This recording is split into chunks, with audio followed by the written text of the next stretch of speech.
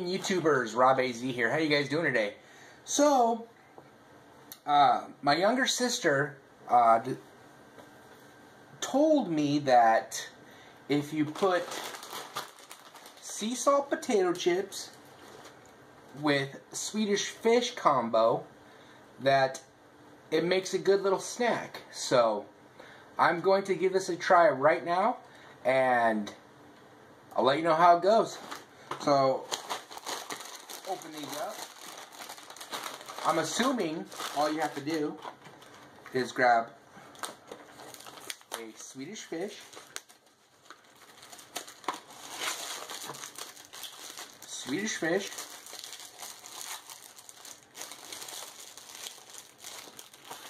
and some sea salt potato chips. I happen to have Lay's kettle cooked Gladys cut. So here's the chip. Here's a Swedish fish.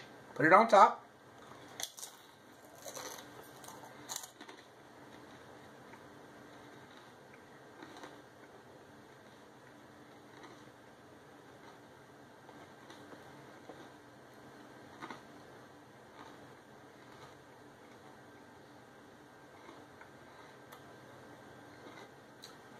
chewy and crunchy.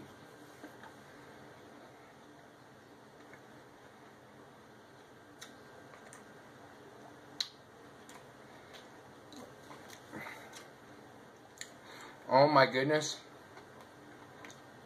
That is awesome. You have the crunchiness of the potato chips plus the salty saltiness. And you got the chewiness of the Swedish fish. We all know what that tastes like.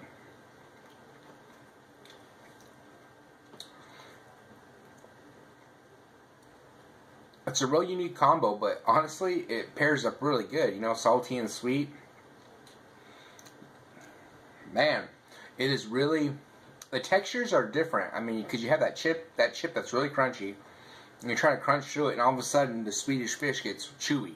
So that's kind of weird, but it's it's an awesome awesome flavor, great snack. Um, I would definitely recommend it. Uh, give it a try. Let me know how you think of it. Um, but you know, I would never have thought of doing that combo, and it's it's really great. So thank you thank you for my little sis. Really appreciate it, and uh, yeah, guys, give it a shot and let me know how you like it. All right, you guys have a great afternoon, and uh, stay tuned for the next video. And like always, thank you for uh, watching and subscribing. Oh, wait up. I'm going to do uh, the rating system A plus to an F. This rating system, I'm going to give this a B plus. B plus. I would definitely, you know, it's kind of, this would be like an addicting snack. I mean, you go through a whole box of Swedish fish and a whole bag of chips, and I, mean, I don't want to know what the calories of that is. So, alrighty, guys. Like always, thanks for watching, and stay tuned for the next video. Thank you.